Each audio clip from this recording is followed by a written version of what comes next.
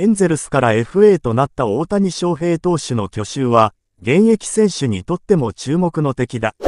ニューヨーク放送局、スニーの動画では、今季66試合に登板したメッツのアダム・オッタビーの投手が大谷について語った。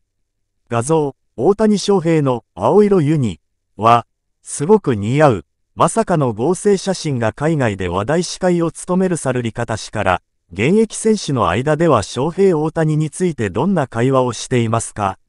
と聞かれたオッタビーノは、ここまで上り詰めるのは、あっという間だったけど、すでに歴代最高の選手という議論がされている。私たちが今まで見たことのないような活躍を成し遂げているし、選手含めて全員が彼の去就に注目している、と答えた。さらに、私たちはダグアウトに座っている時 iPad で彼の打席を見る時がある。しかも、それは私たちがプレーしている試合ではない。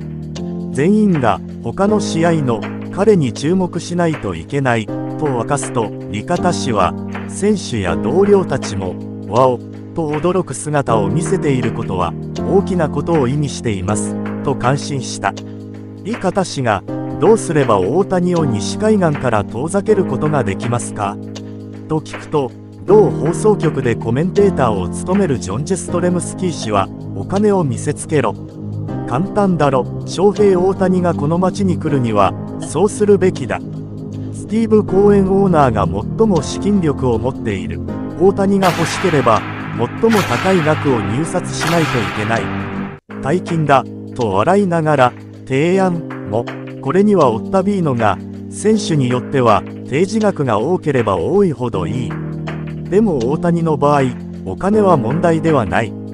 彼は毎年フィールド外で5000万ドル、約76億円くらい稼いでいる。常にお金はあるから、大事なのは居心地の良さとフィット感だ、と試験を述べた。